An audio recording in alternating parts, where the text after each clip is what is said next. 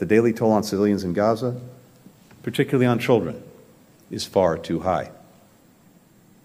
We want this war to end as soon as possible. Um, there's been far too much loss of life, far too much suffering. Uh, but it's vital that Israel achieve its very legitimate objectives of ensuring that October 7th can never happen again.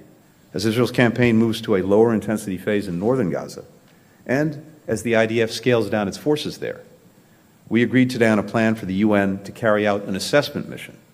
Uh, it will determine what needs to be done to allow displaced Palestinians to return safely to homes in the north.